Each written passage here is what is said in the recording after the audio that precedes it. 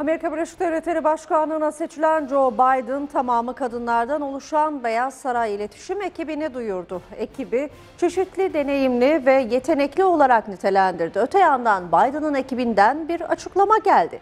Köpeğiyle oynarken ayağını burktuğu bildirildi. Joe Biden ABD başkanlığına seçildi. Tamamı kadınlardan oluşan Beyaz Saray iletişim ekibini duyurdu. Biden ekip için çeşitli, deneyimli ve yetenekli ifadelerini kullandı. Biden ve seçilmiş başkan yardımcısı Kamala Harris şu anda geçiş ekibinin onaylarını denetleyen Jen Psaki'yi Beyaz Saray sözcüsü olarak atadığını bildirdi. Ardından açıklamalarda bulundu. Biden Amerikan halkıyla doğrudan ve doğru şekilde iletişim kurmanın öneminden bahsetti. Şu ifadelere yer verdi. Amerikan halkıyla doğrudan ve doğru şekilde iletişim kurmak başkanın en önemli görevlerinden biridir ve bu ekibe Amerikan halkını Beyaz Saray'a bağlamak gibi muazzam bir sorumluluk emanet edilecektir.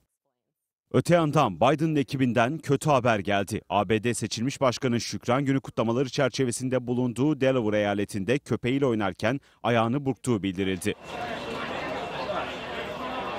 Biden'ın doktoru Kevin O'Connor açıklamada bulundu. Joe Biden'ın sağ ayağında bir burkulma yaşadığını aktardı.